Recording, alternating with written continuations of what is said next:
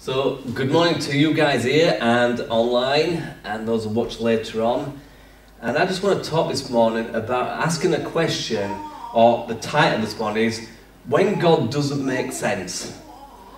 Have you ever been in that point in your life where sometimes God just doesn't make sense? This isn't a, a real great feel good high five sermon, but I'm hoping you're going to get some stuff out of it. In fact, some of you may leave this morning kind of frustrated.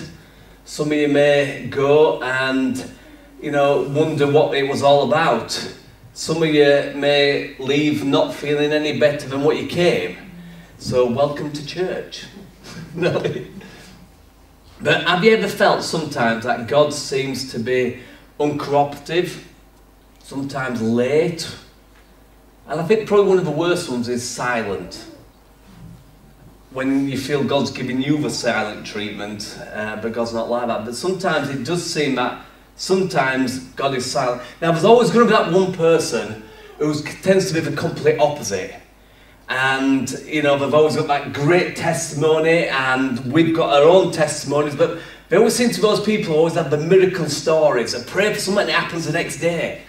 That used to happen when I was a young Christian. It was almost like I pray, it happened, I pray, it happened. But as I, as I grew in God, it kind of developed more into trust me. You see, when the children of Israel went through the wilderness, God provided food and water for them, and their clothes they didn't wear out, and they were celebrating and excited about the miracles of God. But that wasn't God's best for them. God's best for them to go into the land, and in our terms, get a job, plant the fields, reap the field, and eat, eat what's of the field. His plan wasn't to continually give them bread, but his plan was that they would plant seed. And as we go in God, it seems sometimes that when once we used to pray it happened instantly, it kind of takes a bit longer. But often our prayers in the early days tend to be more about us and what we want. But there's always that one person where it seems like no matter what's going on, they're always walking six foot off the floor. And you ask them how they are, and you know, it's, it's the opposite of when you ask somebody and say, How are you? and they drain the life out of you. There's the other people who seem to make you feel so inadequate and small because they're so blessed by God that they are Jesus, Moses, and Elijah all rolled into one. It's kind of like, you know, just God just speaks to them so much and things are going on in their lives, and you just think, okay, if you're that person, we're not worthy, but I'm talking to everybody else, okay, for you online who's maybe slightly going, what the heck are you going on about? But there's a couple of people in the Bible that I want, to, I want to look at their lives who kind of went through a time, and these two people are prophets, and quite significant ones. Um, the first one's going to be Abraham, and he's the first person in the Bible to be called a prophet. Even though you could say Enoch prophesied, and we'll find that in Jude, um, Abraham is actually called a prophet. And it's interesting that when God calls him a prophet, it's in a time when he's not doing really well with God. So God took him, called him a prophet, and told him to pray for a situation where Abraham had got everybody else into. But this is a situation. Abraham's having tea with Jesus and two angels. He's having some food, things are awesome, it's amazing. I mean, imagine Jesus turning up at your house saying, I'm here for tea, and then the angels wander off and he said, Well, they're actually off to destroy something. And then Abraham suddenly gets into this, this prayer with, with Jesus, this, this struggle with words, and they're talking. And he, and he gets it down. Jesus, if, well, he said, Lord, it's Jesus incarnate pre his birth. But he says this He said, if there's 10 righteous people in Sodom, would he destroy it for, for 10? And, and Jesus says, no. If, if I find 10 righteous people, we won't destroy it. So Abraham's on cloud nine. He's, everything's going great. He's been told he's going to have a baby next year. Everything's perfect. And he goes to bed that night and God's, he's been praying and it's great. And he gets up the next morning and he walks out and he looks across and God's destroyed Sodom. What was that prayer about? In Abraham's eyes, he prayed and asked God, and he was confident that God wasn't going to destroy Sodom. But the next morning he gets up, God's destroyed it. And he's wondering, what the heck's going on? And in the next chapter, this is chapter, you read the story in chapter 18, 19, and then into 20. In the next chapter, you read that Abraham goes through this period of time where it's kind of, he, he, starts telling everybody this is my sister again. He goes, it kind of, we would term it maybe backsliding, but it wasn't where he once was. I mean, at 90, his wife's 89, and a king said, I'll have her. she must have been pretty good looking. We need what she had. Never mind creams, we need what she had. And I won't even go into that. Keep that on mind, move that on. But now Abraham's there, and in this situation, God stopped everybody from having babies, and then Abraham's going to pray for the king, and that's when God calls him a prophet. We know God saved Lot. The thing was, Abraham was praying to God or asking God about save Sodom, but his heart wasn't saying that, his heart was saying save Lot. And God did answer the prayer of Lot of Abraham, but not in a way that Abraham thought. He thought, if you destroy the city, you'll kill Lot. God thought, I'll get Lot out of there, then I'll destroy it. And in fact, it worked out for God's purposes, but Abraham, it, it took him a while, then he realised what had happened. Interesting Bible study for anybody is Lot, did Abraham really help Lot in the journey of stuff? Because he ended up having two genera- um, two tribes came from Lot, which was always a pain, to Israel, but that's another study in itself. So Abraham prayed and it didn't seem to work out and it kind of shook him a little bit. And he's the father of our faith. Later on we find out that he was as solid as a rock. And when he got told to sacrifice his son, he was well in there. He's like, come on, let's get this sorted. Reasoning the fact that God could even raise the dead. So he'd kind of moved on from there. But at this point in his life, something shook him. So that's the first person, that's a quick one. The next one is another prophet that's mentioned in the Bible. If I was to say to you who was the greatest prophet in the Bible, people have lots of different ideas, but Jesus says John the Baptist was the greatest prophet going. Which is interesting that the first prophet and the greatest prophet neither prophesied nor did miracles. I want to be a prophet. Well, they're the best and the greatest, and you know what I mean. Elijah's not even there. Moses not even mentioned. He says, why were they the, the in a sense the first and the greatest? The greatest being the one. All the prophets in the Old Testament pointed to Jesus. He's coming. He's coming. John the Baptist says he's here. But Jesus also said, if you're least in the kingdom, you're greater than John Baptist because John the Baptist says he's here and walked away. We say he's here in us. So that's why it takes up. So John the Baptist is an interesting character. You know, he was a prophet, he wore animal skins, he ate locusts and honey, he took no rubbish off anybody, he said it as it is. And his job was to prepare the world, and he screamed out, this was the message of, of John as the greatest prophet that ever existed, was repent.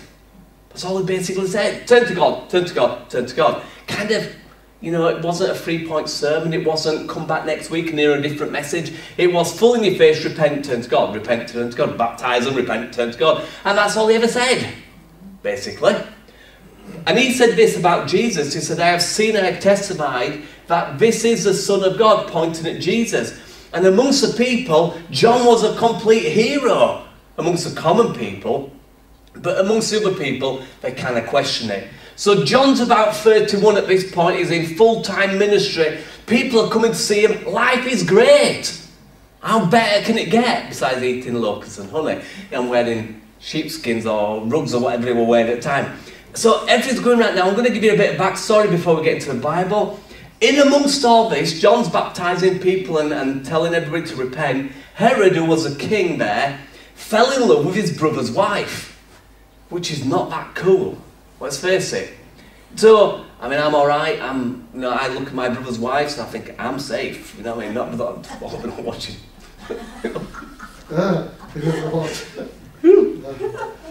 this get that one back out. Live. We can't do it. He falls, falls in love with his brother's wife, and then he divorces his own wife and takes her on. Her, Herodias is her name. I hope she's better looking than what her name sounds. And Herodias is there, is there, and John the Baptist goes, it's not lawful. So he gets involved in politics.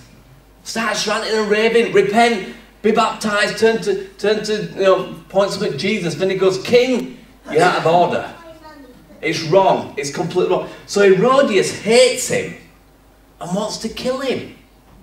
But it says that Herod actually kind of liked him interested, intrigued.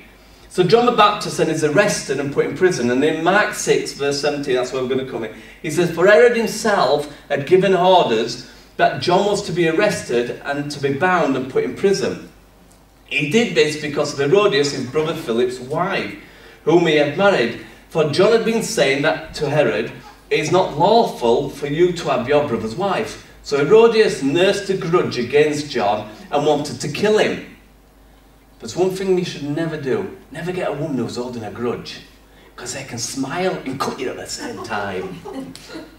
Straight in there. So Herodias nursed a grudge against John and wanted to kill him, but was not able because Herod feared John and protected him, knowing he was a righteous man. So now John's in prison and Jesus is outside doing all his stuff. Now, you uh, know, John had served God faithfully. He'd done, he was serving, he was doing really well. And he'd announced that Jesus was coming, and then he pointed Jesus out and he said to everybody, Don't look at me, look at him. Look at him. Keep looking at him, keep following him. And he was arrested, and he was arrested for what? For doing what was right. Everything was perfect, but now he's in the prison. And it's an interesting one because surely Jesus would have done something to help John. Because we're relatives. I mean, if you're going to do anything, Abraham looked out for Lot. Jesus um, was a relative of John, and there was a connection there. And you'd have thought that Jesus would do something. But he didn't do it initially.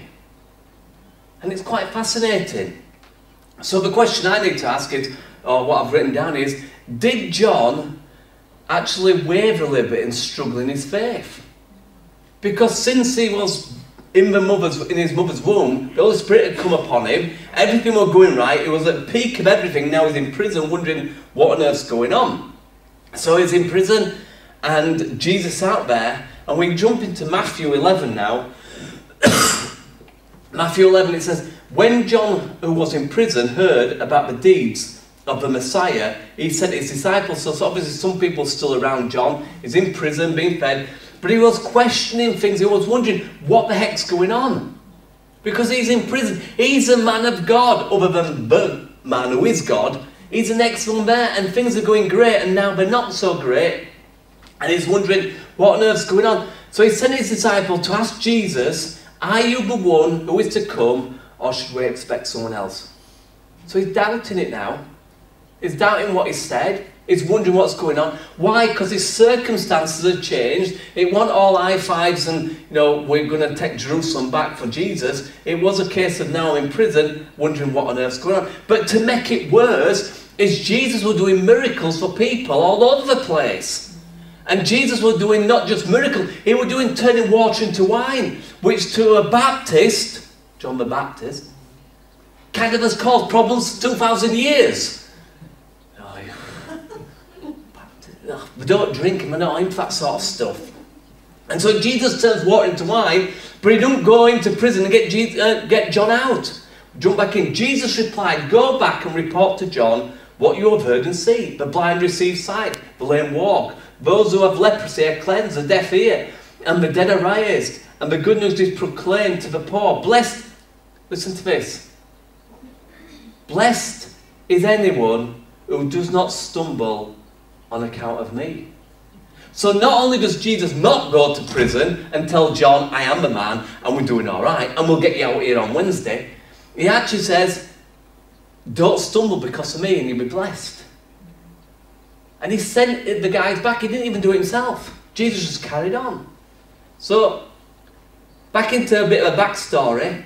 So John's in prison waiting. Jesus said everything's cool, everything's all right, I am the man, you'll be fine sort of thing.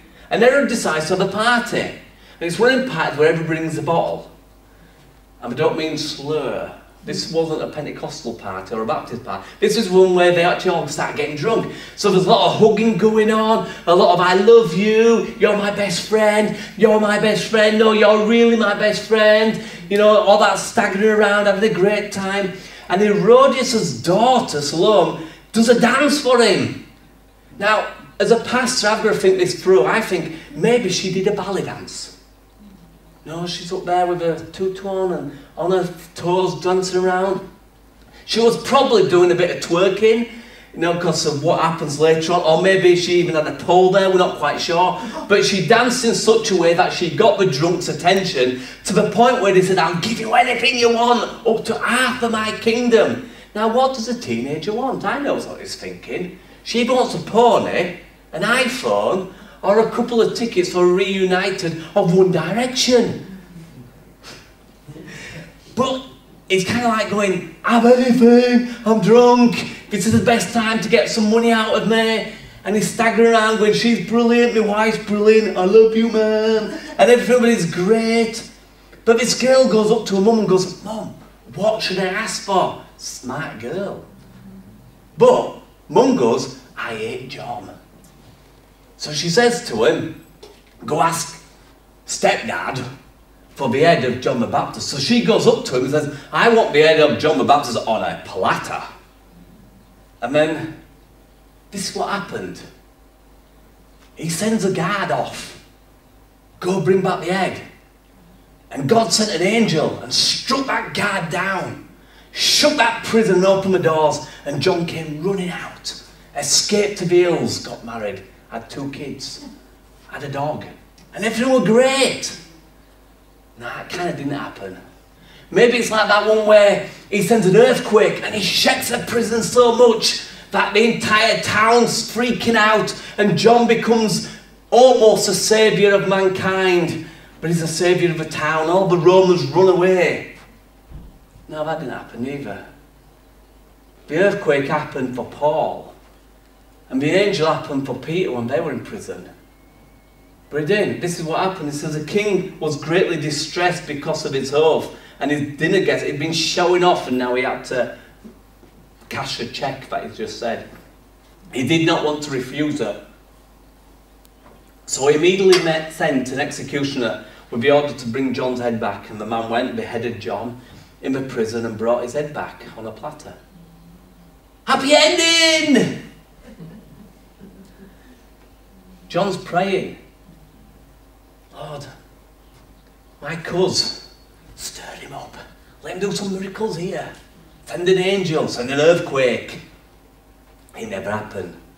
Jesus had the power to rescue John, and yet he didn't.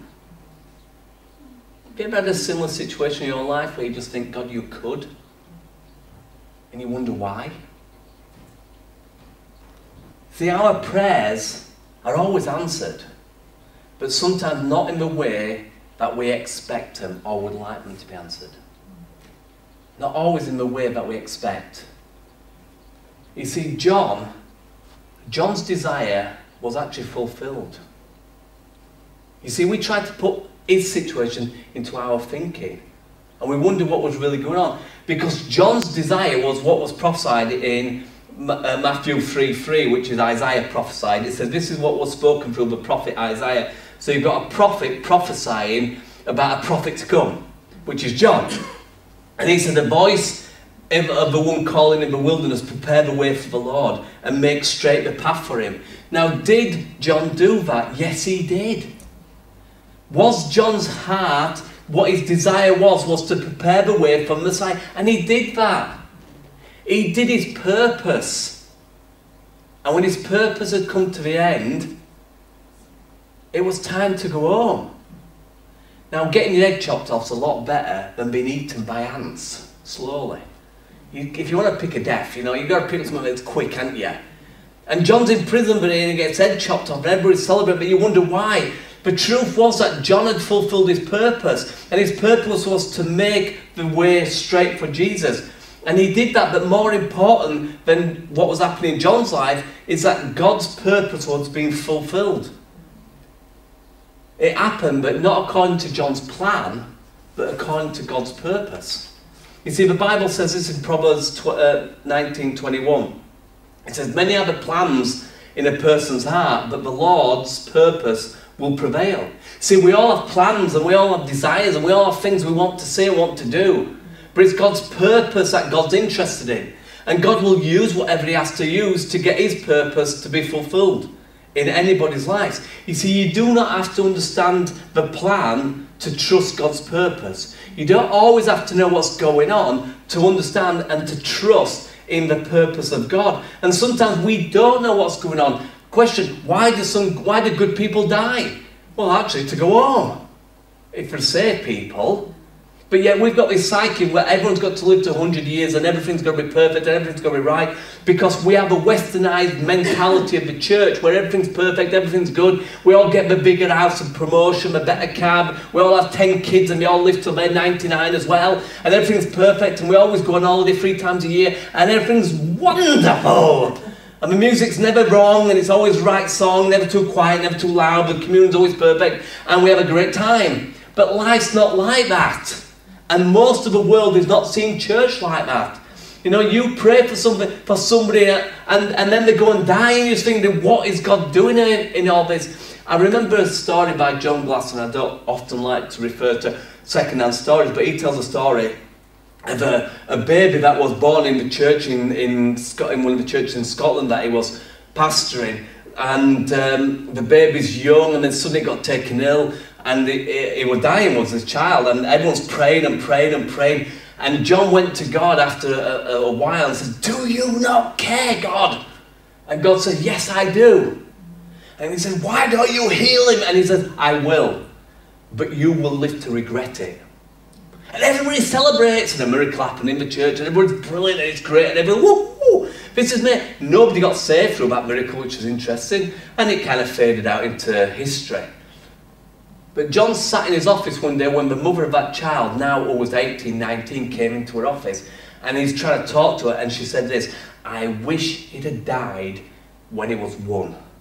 Because he'd become a drug dealer, a drug addict and he got into some awful stuff. And God spoke to him then. He's, and he, he regretted it. So sometimes we don't always know the why, but we can trust the purpose.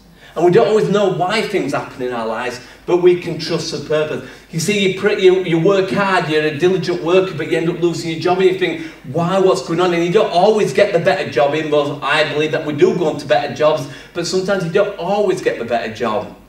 Life's not always like that. Some people suffer from depression all their lives, yet they're strong in their faith. Some people struggle with illnesses or migraines and stuff like that, come and go. And yet there's an easy answer, but there's the answer of reality is that they can sometimes, all you can do is trust in God. Have you been there where all you can do is just trust in God? You see, over the years, I've seen most of my own hopes and dreams crash and burn.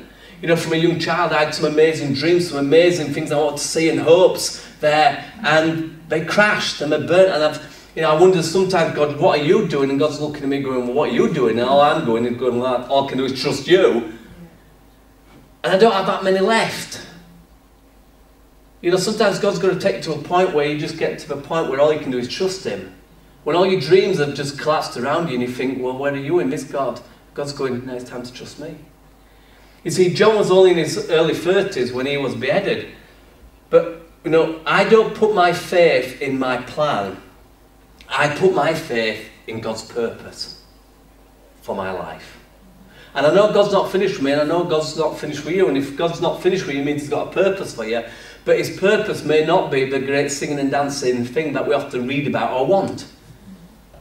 Sometimes we look at people who are on Christian TV and think, wow, I want their lives, and we don't understand what they've gone through to get where they're going. Most people don't appreciate that Smith Wigglesworth, who operated in some amazing things, only operated those things in the last part of his life. We always think he was born that way. No, he wasn't it developed. You see, if you've got hopes and plans, that's great, go for them and, and go after them. But sometimes they may not happen the way you think they're going to happen. It may not be what you think it's going to be. Because God's plan and purpose is more important than our situation, than our, our personal needs. Now, you are important to God, but God's got bigger things that He's looking at.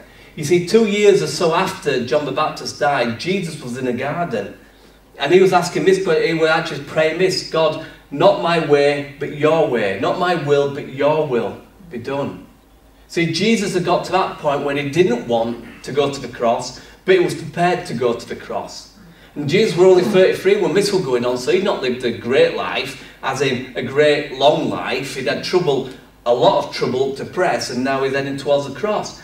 And Jesus was in the garden and saying, Not your will, but mine. In other words, he was saying, Not my plan, but your purpose be done.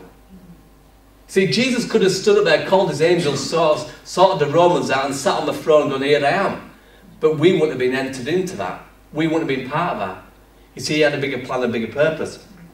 And then on the cross, after agonizing in the, in the garden, now he's been beaten and whipped, he's been stripped, he's been staked and, and pinned to this cross. And on the cross, he's looking up, and he's always had God the Father there, really near him, constantly. And he cries out, My God, my God, why have you forsaken me? In other words, why have you turned your back? But it's only when we look backwards to these stories that we can understand the why. You see, John the Baptist had a purpose to, to make this plan, to make the way straight. Abraham couldn't understand why God had killed, uh, destroyed Sodom until we look back and go, we understand why he destroyed Sodom, but he did save Lot. Jesus said, My God, my God, why have you forsaken me? The reason why God turned his back on, because if he looked at his son, he could have wiped everybody else out there. I'm not being funny, but some of you, if somebody said something wrong to your child, a little monster rises up in you, and you become somebody completely different. And for other people, it might be your pet. It might be somebody else. It might be somebody cutting you off as you're driving down the road, but something rises up in you. Imagine God Almighty who could wipe out generations, who actually did say to Moses, Step aside, mate, I'm going to kill everybody here. And Moses stood there and said, No, let's not do that, God. And Jesus on the cross saying, My God, my God, why have you forsaken me? Imagine if God had turned around and looked at him, he could have blasted all Israel and all them people off the planet, which wouldn't have been good for us. Because if they'd have done that, there'd have been no path of salvation for us. So when you look back, you think, well, God never answered that question. God was silent in that cry of Jesus, his only son. The reason why he was silent is for you and for me looking back. So even in our own lives, we can sometimes look back and go, God, I've been praying about this, but it's only years later you look back and go, now I see what you were doing. Now I understand what you're doing. You see, in the moment, it may not be brilliant and roses in the garden. It may be ducks running across your lawn. It's that bad.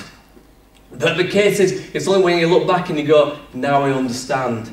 Sometimes we need to look back as testimony to what God's doing. You see, we are important to God, and our problems are important to us.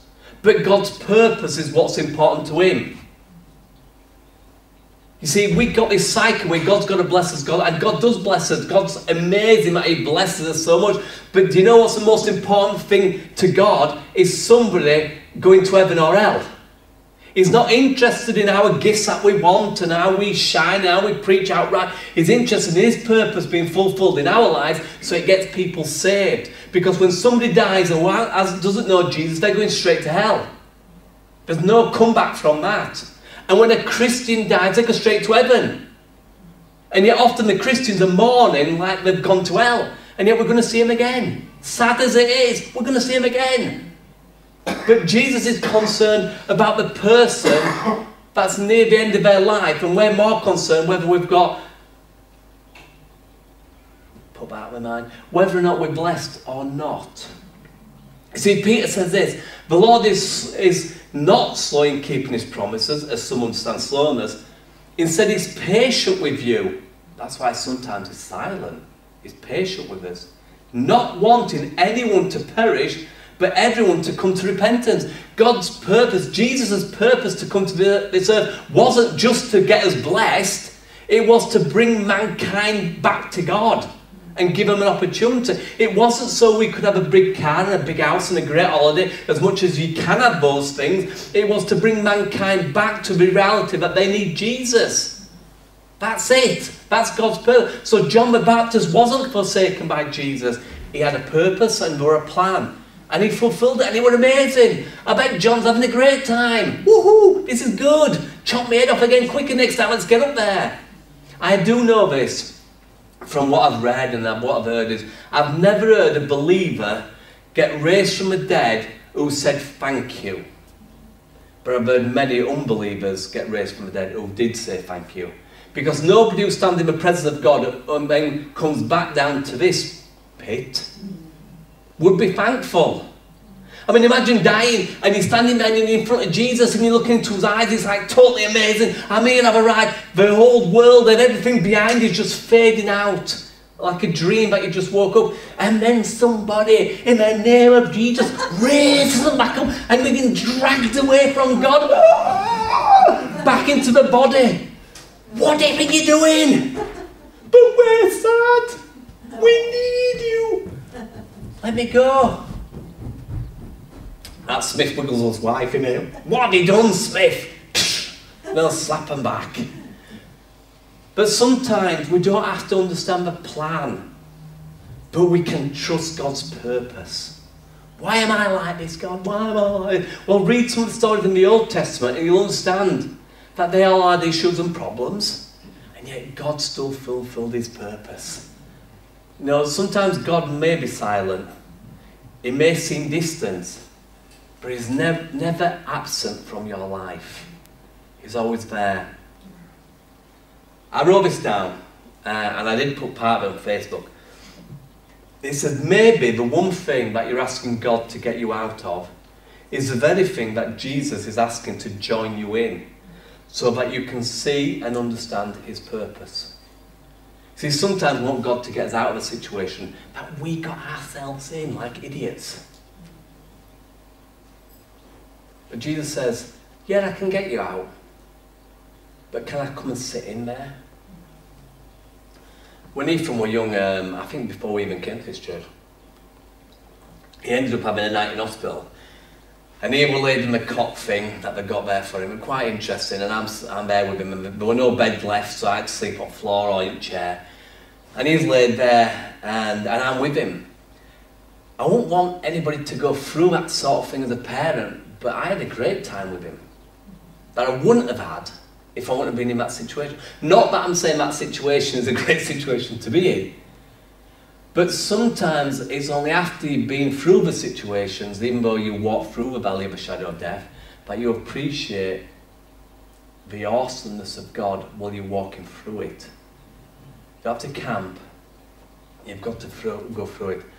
So I'm going to um, bring this to an end. So I'm going to say goodbye to you guys on there. And I hope that uh, you've enjoyed that. So I'll see you next time. There's a couple of verses I just want to read to you. I used Abraham, first prophet, and John the Baptist, the, the last of the Old Testament prophets. And, um, you know, John was called the greatest, Abraham was the first. And both of them struggled at times, but they got through it and they carried on. And you could say, well, John didn't get through it. Yeah, he did. He's through it. And sometimes we've all got to go through it. In Hebrews 11, we read this, verse 1. And we're coming around the communion table now. So uh, just keep an eye on, on things and listen to what we're saying. It says, Now faith has been sure of what we hope for, and certain of what we do not see. For this is what the ancients were commended for. I mean, it lists loads of people. People you can read throughout the Old Testament. And then we get to this, that these all were commended for their faith. Uh, yet none of them received what was promised. They were all commended for their faith, but they didn't receive what was promised. What, what we're talking about in the promise is the promise of, of, of Jesus, the promise of eternal life, in the sense of what we've got. And he says this God had planned something far better for us. I like that. It doesn't mean we're exempt from the struggles of life, but what he's talking about is we've got the Holy Spirit living inside us that will continue with us.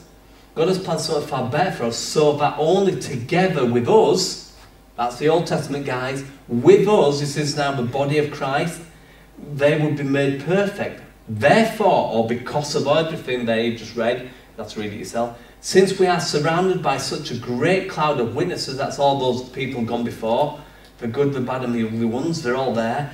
Let us throw off everything that hinders us and the sin that so easily ensnares us, and let us run with perseverance a race marked out before us. Whatever's happening, you keep on moving forward. Whatever's going on, you keep moving forward into the things that God's got for you. Who knows where you're going to be next week, next month, next year? Who are you going to encounter? The differences, whatever you focus on your own issues and your own problems, you're not impacting somebody else's life, at least not positively. And then he says, Let us fix our eyes on Jesus, the author and perfecter of our faith, who for the joy set before him, so he's now given an example of the set before him, endured the cross, scorning its shame, and sat down at the right hand of the throne of God. Consider him, that's Jesus, who endured such opposition from a sinful man, so that you do not grow weary and lose heart. See, Jesus says, Blessed anyone who doesn't fall away because of me.